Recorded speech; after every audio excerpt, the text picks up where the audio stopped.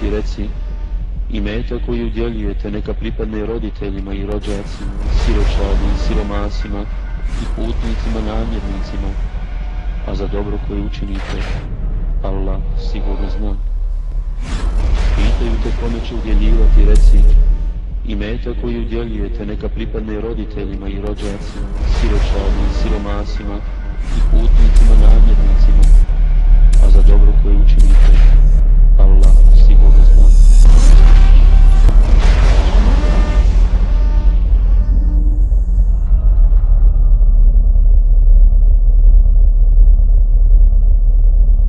Ako pitaš šta je islam, evo šta, čisto srce, dobra duša koja zna, da je život zdrav i radin krepostan, Šta je bilo samo? Ovo je šest možda minuta. Osam. Ovo se sporo ima jedan mali. Od prvog maja. Govor mi se imao.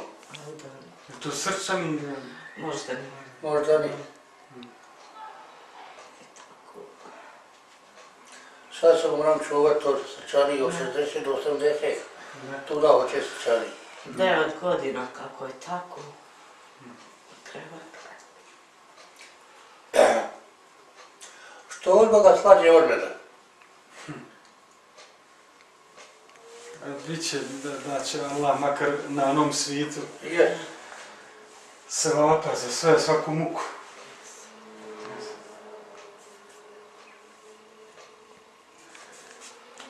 Dobro, ništa da se ne, ne zadržavam, ja ću ovako, baš prvo od e, ruci imam nešto.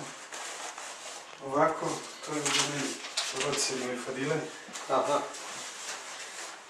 A, ću vidjeti.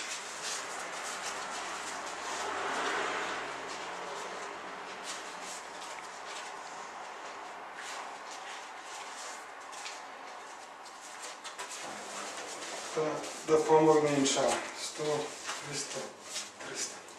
Hvala da vam dragi Allah u kavu upiše. I da vam dadne dug život i dobro zdravlje. Sve. Hvala i vašoj porodici. Da nam oprosti i da se...